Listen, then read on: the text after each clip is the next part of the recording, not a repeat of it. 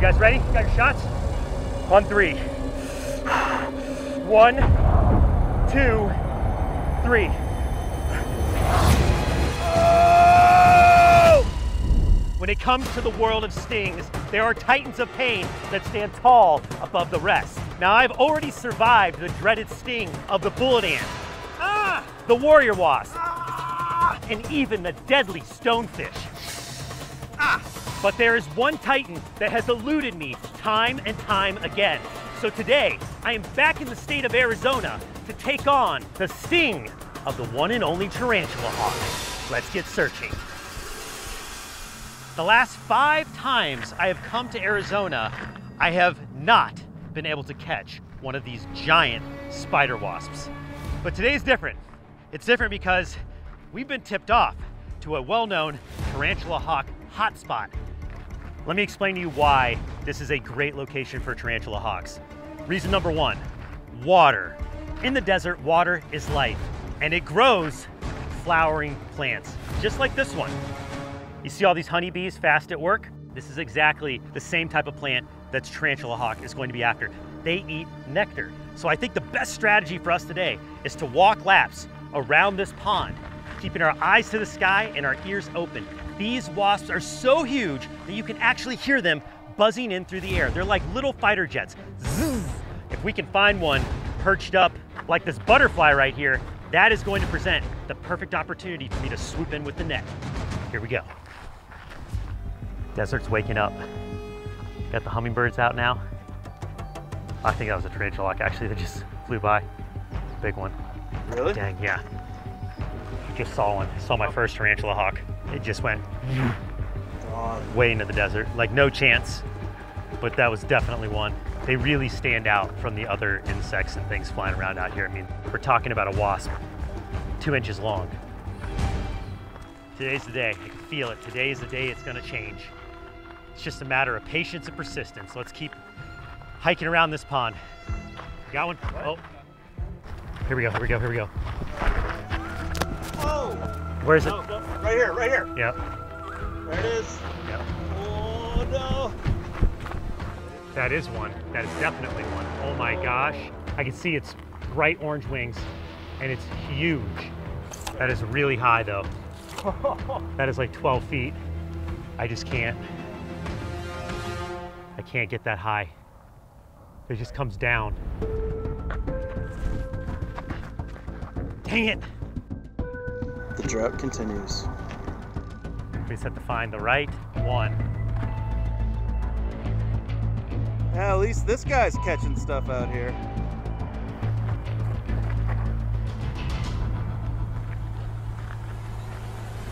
Oh, oh, right here, right here, right here, Mark. Whoa! That was huge. I got one. Right here. Right here. Got it. Oh! Yes! Yes! Oh my goodness. And that is a good one too. Oh, yeah, baby. All right. Can't get too excited. It's got to get in the jar to be officially a catch. Okay.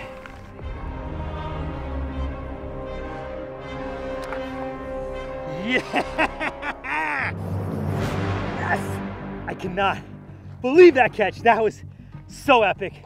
What a fitting way to end the drought of catching tarantula hawks. Oh, oh my gosh, guys. I was like, man, if this doesn't happen today, I don't think it's ever gonna happen.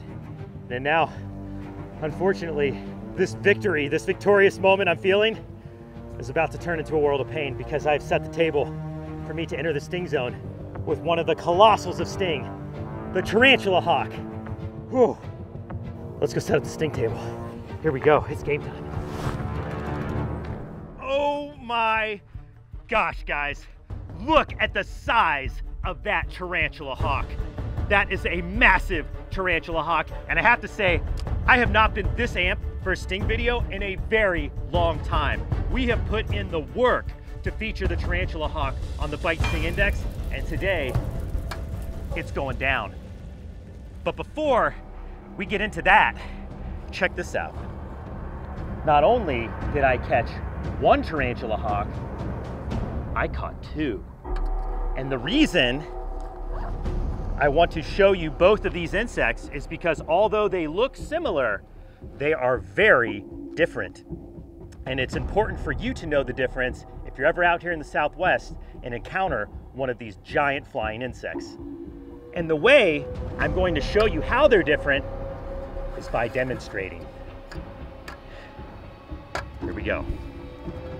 You ready? You guys ready? Yeah. Okay. We get out the second tarantula hawk from the container. Here we go. You ready? This is one of those moments where you really hope you're right about what you've learned. One, two, three.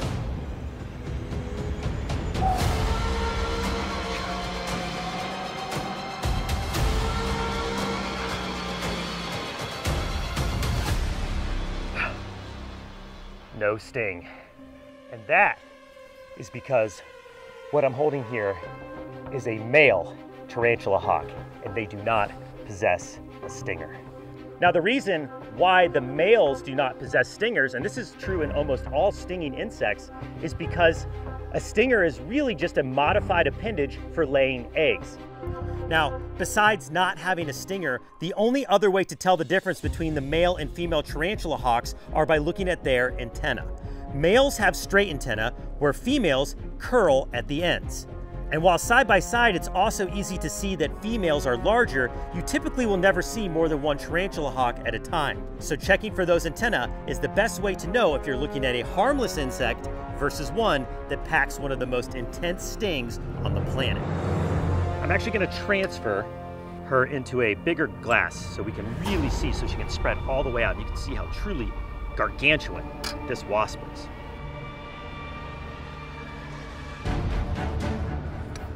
Okay, there we go. Wow. Oh my goodness. What a monster wasp. Guys, look at the size of that abdomen. This is the biggest tarantula hawk I have ever seen. Now, the reason they're called a tarantula hawk is because how they reproduce. These enormous wasps, one of the largest wasps in the world, feed tarantulas to their young. And the way they do that is they will fly around the desert looking for these giant spiders. Once they find one, they will swoop down like a bird of prey, catch it, sting it, paralyzing the tarantula, and then lay eggs inside of it. So, when those eggs hatch, the very first meal of a tarantula hawk's life is a giant spider. And then they will emerge from the burrow as a fully grown wasp and feast on nectar.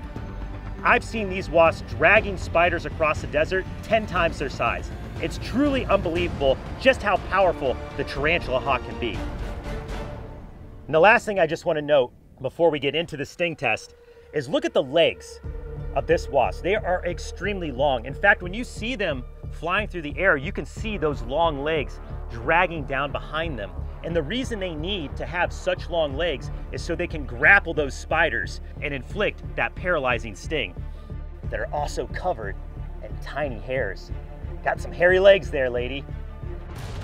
Well, now that we know why it's called a tarantula hawk, and we've been able to take a closer look, I think it's time for the moment that you all came for. It's time for me to enter the sting zone with one of the largest wasps on the planet.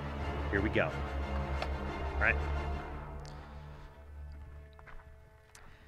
I often get questions, Mark, are you just over the fear of stings by now? No. I always get a lot of anxiety before taking a sting for a first time, especially when it's one of the titans of sting. The tarantula hawk sting is notorious. It's put right up there with the bullet ant. And when it comes to stings that I personally witnessed, I cannot think of one more terrifying than when I saw someone get stung by a tarantula hawk. As much as I've been working hard with the team to find one of these tarantula hawks for this sting test, in this moment, whoo, buddy, I'm feeling the nerves. The sooner I take the sting, the sooner I get to healing. That I know for sure. All right, I'm getting the signal. You guys ready? Yeah. It's go. All right, guys, this is gonna be one of the biggest stings I ever go through. Got essential first aid on standby, the EpiPen. Oh my gosh. I can't believe the, moment has arrived for me to enter the sting zone with this wasp. This is big time. Okay, guys, here we go. Now, I'm gonna rate the sting of this wasp on three different factors, intimidation, pain, and aftermath. So at the end of this video, this tarantula hawk is going to receive a BSI score and it will rate it against all the other stings and bites that I've ever taken. Will it top the bullet ant? It's time to find out. Gonna remove the glass. Oh man, this is where it'd be very easy for me to take a sting too early. Those legs are so strong. Like if I don't get the right hold right away, it's almost no chance. Shaking. So nervous right now. Gosh, this is always so much harder than it looks. Got it, hold. Right, I'm gonna have to use another set. Oh my gosh, look at how big that stinger is, guys. So strong. Got it. Good hold. All I gotta go for the sting, guys. Ready? I'm Mark Vins, and I'm about to enter the sting zone with the one and only tarantula hawk. You guys ready? You got your shots? On three. One, two, three. All right, hang on. I'm about to, I'm feeling lightheaded. I feel like I might pass out. I feel like I might pass out. Sorry, guys. Sorry. You want me to put the jar on it right now? No, I'm just, uh, hold on, just let me get my nerves going. My legs are shaking, my hands are shaking. I feel like my stomach's in my throat right now. I've never, I've never felt this like this before, Sting. This is like next level, next level terror. Oh my gosh, oh my gosh, this is happening. All right, here we go. All right, guys, on three. One, two, three.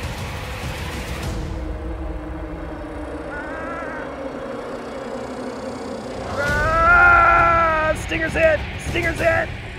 Oh. oh god, I didn't get a good sting though. I gotta do it again. Oh, that hurts. It didn't get good. It didn't get me good. One, two, three. Oh!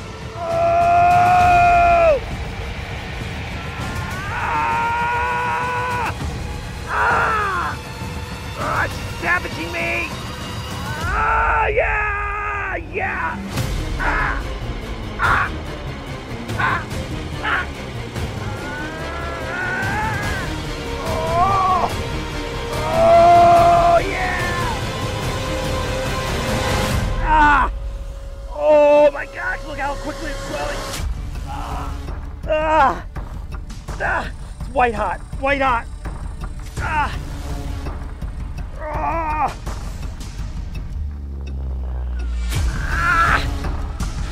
You alright, man? Oh, oh, it's bad. It's really bad. She got me. She got me a bunch of times before the real sting, but the real sting went in. It was so bad. Ah. Ah. Ah. Oh. Ah.